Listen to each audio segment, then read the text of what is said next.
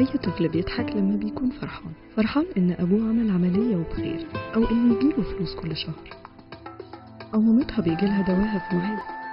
أو بقى في سقف يضلل عليهم في الشتاء. أو فرحان بأخوه اللي خرج من الحضانة أو إن في أكل طول شهر رمضان.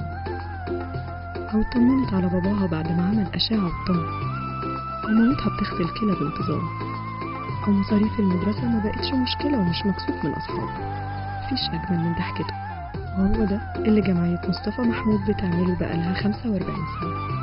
ساعدنا نكمل المشوار ابتديناه من 45 سنة. جمعية دكتور مصطفى محمود كمل حياتك بالخير.